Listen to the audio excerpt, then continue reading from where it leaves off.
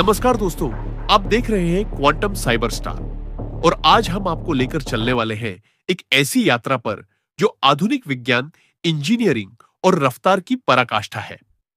आज हम बात करेंगे दुनिया के सबसे तेज, सबसे विशाल और सबसे अत्याधुनिक हाई स्पीड रेल नेटवर्क की, यानी चीन की बुलेट ट्रेन प्रणाली की। लेकिन यह सिर्फ़ ट्रेन नहीं है यह है एक चलती फिरती प्रयोगशाला। एक प्रतीक है राष्ट्रीय आत्मबल का। और एक मिसाल है भविष्य की तकनीक की। चलिए दोस्तों, शुरू करते हैं ये अद्भुत यात्रा। भाग एक। चीन की हाई स्पीड रेल नेटवर्क की नींव। जब हम चीन की हाई स्पीड रेल की बात करते हैं तो यह जानना ज़रूरी है कि इसकी शुरुआत कोई एक दिन में नहीं हुई। इसकी नींव रखी गई थी 2002 के दशक की शुरुआत में, जब चीन ने तय किया कि वह दुनिया की सबसे बड़ी आबादी के लिए सबसे तेज परिवहन प्रणाली बनाएगा।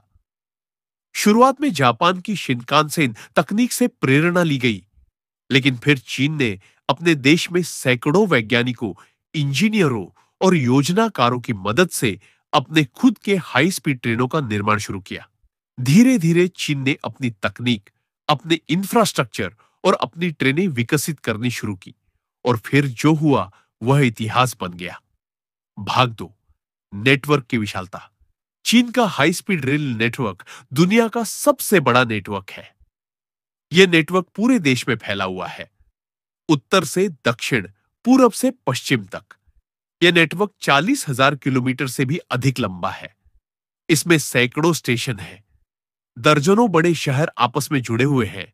और ट्रेनें ऐसी रफ्तार से चलती हैं जो किसी भी आम देश की कल्पना से परे है। हर दिन लाखों लोग इस नेटवर्क का इस्तेमाल करते हैं, बिना देरी, बिना बाधा और पूरी सुरक्षा के साथ। भाग तीन, तकनीक और विज्ञान। अब बात करते हैं तकनीक की। चीन की हाई स्पीड रेल सिर्फ़ एक तेज ट्रेन नहीं है।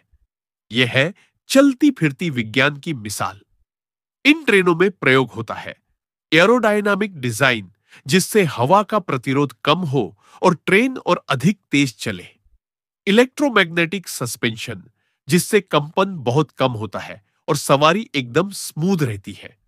स्मार्ट ब्रेकिंग सिस्टम, जो ट्रेन को कुछ ही सेकेंड्स में रोक सकता है, बिना यात्रियों को झटका लगे। ऑटोमेटिक सिग्नलिंग और कंट्रोल, जिससे इंसानी गलती की संभावना लगभग समाप्त हो जाती है। और सबसे बड़ी बात, ट्रेनें पूरी तरह इलेक्ट्रिक है। यानी ये पर्यावरण के लिए भी कम नुकसानदायक है। भाग चार, रफ्तार की शक्ति। इन ट्रेनों की अधिकतम स्पीड होती है लगभग 400 किलोमीटर प्रति घंटा, लेकिन हम इसे कहेंगे 400 किलोमीटर प्रति घंटा, यानी कि वह रफ्तार, जो एक कार, एक बस या एक विमान के भी बराबर जा सकती है, लेकिन ज़मीन पर। इस स्पीड को हासिल करने के लिए पटरियों को खास डिज़ाइन किया गया है ट्रेन के पहियों और इंजन में अल्ट्रा हाई स्पीड कंपोनेंट्स का इस्तेमाल किया गया है और यात्रियों की सुरक्षा के लिए मल्टी लेयर सिस्टम विकसित किए गए हैं। चीन की फूशिंग नामक ट्रेन, जो पूरी तरह से स्वदेशी है, वह इस तेज़ी की प्रतीक है। भाग पाँच, इनोवेशन और स्वदेशीकरण। चीन ने शुरुआत में विदेशी तकनीक ली, लेकिन बहुत जल्द उन्होंने अपना स्वदेशी डिज़ाइन और मैन्युफैक्चरिंग सिस्टम विकसित किया। आज चीन की अधिकतर हाई स्पीड ट्रेनें इंजन से लेकर कोच तक सब कुछ चीन में ही बनाया जाता है। यही नहीं, अब चीन इन ट्रेनों को अन्य देशों को एक्सपोर्ट भी कर रहा है, जैसे कि इंडोनेशिया, सर्बिया और अफ्रीका के कुछ देश। यानी चीन ने केवल उपयोग करना नहीं सीखा, बल्कि निर्माण करना, विस्तार देना और वैश्विक मार्केट में उतरना भी सीख लिया है। भाग छह, रेलवे स्टेशन, तकनीक के किले। चीन के हाई स्पीड रेलवे स्टेशन आधुनिक एयरपोर्ट की तरह होते हैं, जिनमें multi level platform automatic ticketing system artificial intelligence based monitoring और डिजिटल साइन बोर्ड जैसी सुविधाएँ होती हैं। हर स्टेशन को इस तरह डिज़ाइन किया गया है कि हज़ारों यात्रियों को एक साथ कंट्रोल किया जा सके, वो भी बिना किसी धक्का मुक्की के। भाग सात।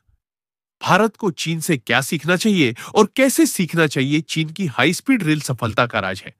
साफ़ विजन, मज़बूत इंफ्रास्ट्रक्चर स्वदेशी तकनीक और लगातार नवाचार। भारत को भी इन चार स्तंभों पर ध्यान देना होगा। एंड बड़ा सोचे, दूर की योजना बनाए दो। अपनी तकनीक खुद विकसित करें। तीन, वैज्ञानिकों और इंजीनियरों को एकजुट करे चार और हर प्रोजेक्ट में निरंतरता रखे। बस यही है वो कदम जो भारत को भविष्य की पटरी पर तेज़ी से दौड़ा सकते हैं। दोस्तों, अगर आपको यह वीडियो जानकारी पूर्ण और प्रेरणादायक लगा हो तो मैं आपसे एक छोटी सी मदद की उम्मीद करता हूँ। आप मेरी छोटी सी मदद कर सकते हैं, एक रुपये की सहायता प्रदान करके। यूपीआई आईडी डिस्क्रिप्शन में है, या यह क्यूआर कोड स्कैन करके आप मुझे मदद कर सकते हैं। अगर आपको यह वीडियो पसंद आया हो तो लाइक करें, कमेंट करें और सब्सक्राइब करना न भूलें।